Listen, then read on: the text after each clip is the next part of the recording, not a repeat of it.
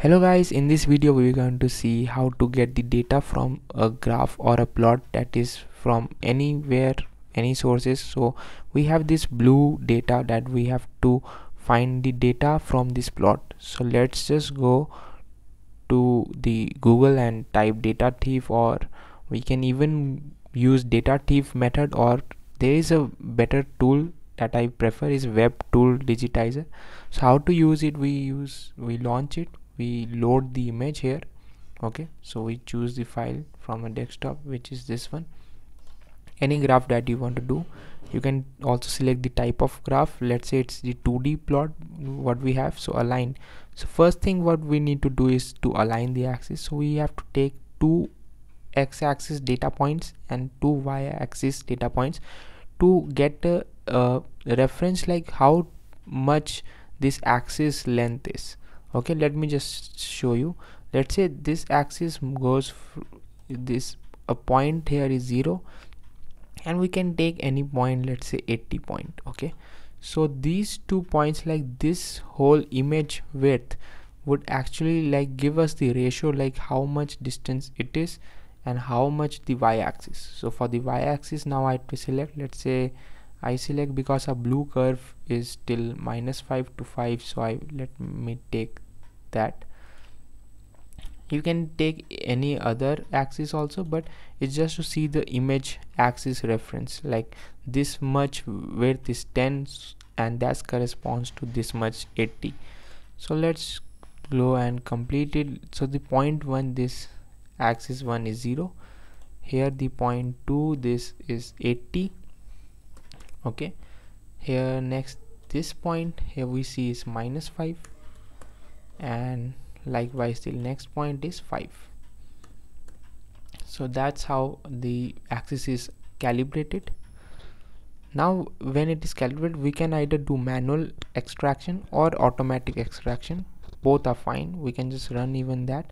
But let me choose because the points are very clear so let me do manual extraction. So this is click over here add point.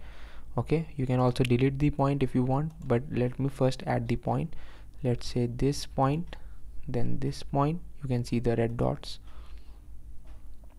This point this point this this this this this this. If you want to delete a point you can just click on delete point and click that point. It would be deleted. So let me just add it. Okay okay also you can use automatic automatic extraction if you don't have the points so uh, clearly visible.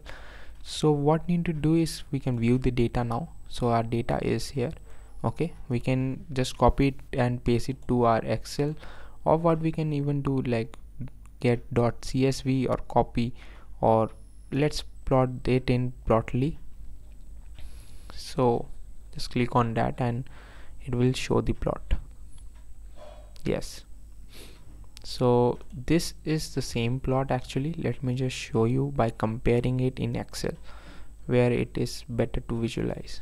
So you can see the axis is from 0 to 100 so here also we had 0 to 100 let me just copy this.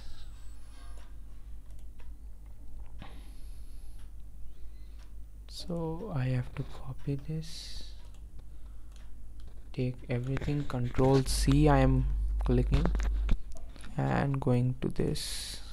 And here let me just paste this. And okay. So now let's just make the chart like this I think. And if I just put the insert the image okay. So our graph was this one. Oops it's stuck here.